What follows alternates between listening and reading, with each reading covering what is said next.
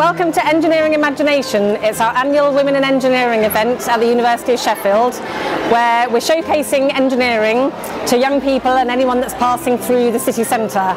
Sheffield is famous for engineering and for great inventions that were made here and we want to encourage the local people of Sheffield to remember that engineering can be a great career for them and that there's lots of interesting aspects to engineering.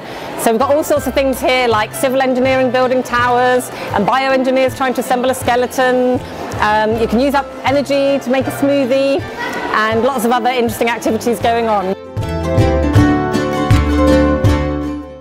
So this um, stall is basically just to encourage the younger generation to, I guess, see engineering in action. And this is launched in accordance with the book. So Susie and Ricky is about um, so some children, an alien crash lands in their bedroom, and they've got to help the alien back home by um, launching a rocket basically and meeting engineers along the way. It's just a great idea to just have the children to experience virtual reality, which is something that is, you know, quite quite an advancement in technology. So they get to see that, and they also get to see the science behind it and aerospace engineering and so many different and computer science and just so many different kinds of engineering.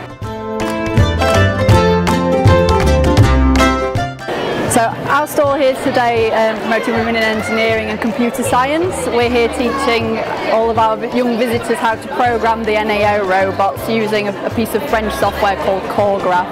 It's a very lovely, easy piece of software that um, has a, a very user-friendly and pictorial manner of teaching basic programming principles.